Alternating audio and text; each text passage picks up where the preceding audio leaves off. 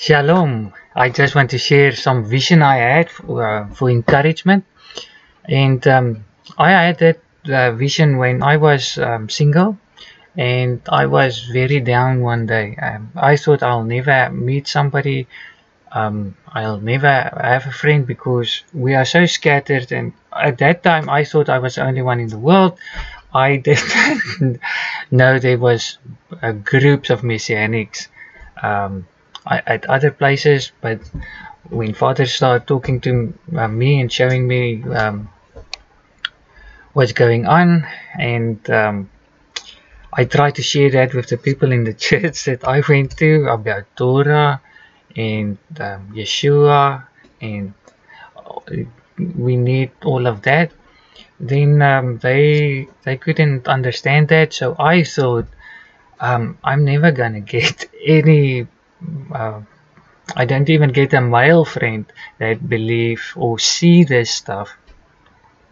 So uh, chances for me getting a partner is gonna be a challenge.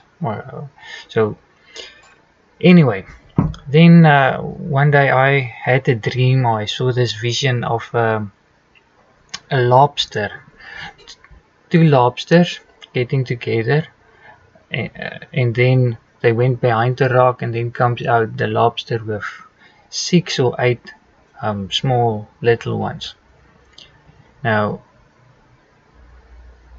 when I thought about it, what it could mean, then uh, I came to me that it's even a lobster that's an unclean animal, unkosher, even they have partners.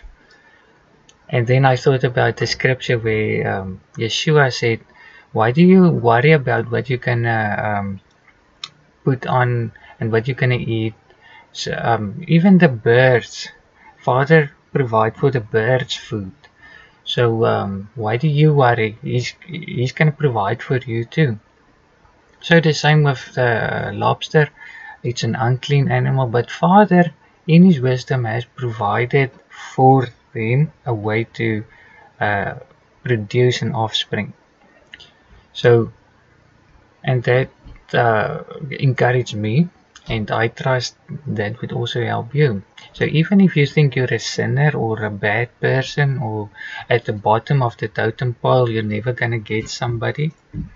Maybe you are at the bottom, maybe you are a bad person. I don't know you personally yet, and um, but even then, wouldn't it be nice if you found um, your mate and uh, you could produce the family that Father wants you to produce? So, shalom and uh, take care, have hope, and thank you for sharing and um, liking and subscribing to our channel. Enjoy your day.